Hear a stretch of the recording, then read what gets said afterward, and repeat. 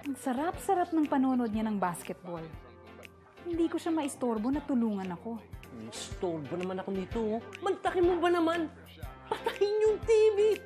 Di ko tuloy nakita yung winning three points. Hindi ko naman sinasadyang matabig yung popcorn eh. Nagalit na siya sa akin. Lord, ayaw ko na po ng ganito. Baguhin niyo naman po yung asawa ko.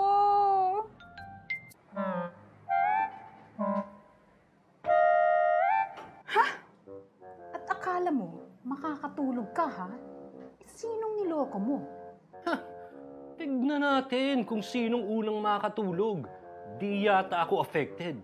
Pikon! Chicken! Ah, pikon! There you go!